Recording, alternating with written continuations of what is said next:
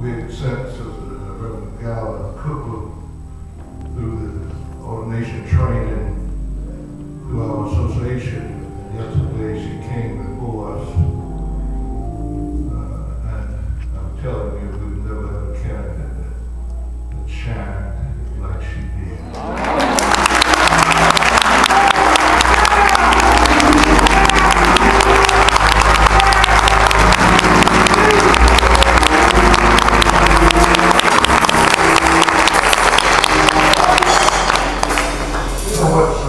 till